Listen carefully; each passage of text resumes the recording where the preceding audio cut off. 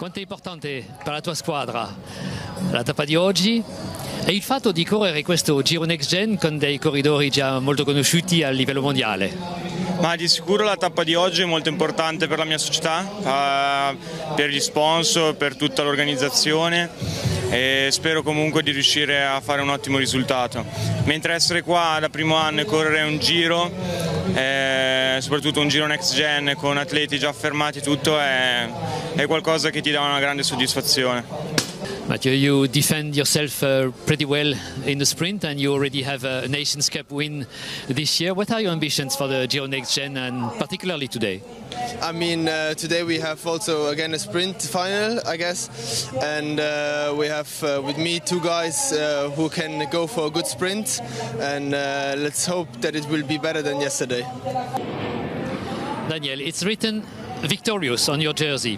What went wrong yesterday and what can make you victorious today? Ah, yeah, surely yesterday we weren't very lucky the last 500 meters because I got caught behind the crash in the roundabout, so I couldn't do my best sprint. And yeah, surely I think the legs were good. With the team, uh, we, we lost a bit each other, but I think that today it's a new day, so we changed our mindset. And yeah, definitely we're going to throw all the cards today for the sprint uh, to do the best result possible, and uh, we'll see how it goes under the finish line in Cremona. Are you frustrated about yesterday and um, what can you do today? I think yesterday was uh, solid. Uh, seconds not too bad uh, to lose uh, against him. But yeah, for sure we are not here to become second. So uh, yeah, we hope to do it better today. And yeah, but still yesterday was a, was a good day. Leader didn't went perfect, uh, but yeah, I think we have a good team for today also, and then we see. A fantastic top five uh, yesterday in the sprint. Uh, are you hoping for the same today or even better?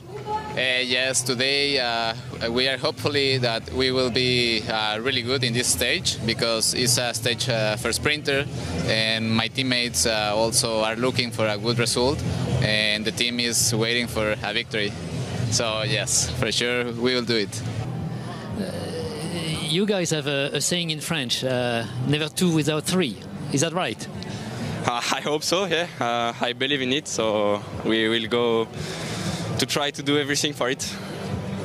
And uh, yeah, normally it will be a burn sprint, a very flat stage. Uh, normally again a bit of headwind uh, in the end of the race, so we'll be again a hectic sprint. But we are again very motivated for it, and uh, yeah, let's let's hope for a victory.